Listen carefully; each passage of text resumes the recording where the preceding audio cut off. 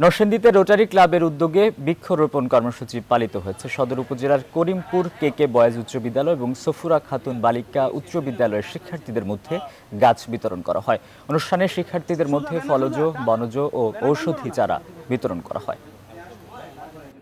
ইনডোরে রাখা যায় ইনডোরে আমাদের ঘরের ভিতরে অনেক সময় দেখা গেছে। আর যদি বাচ্চা হয় তাহলে হলো এক চামচ।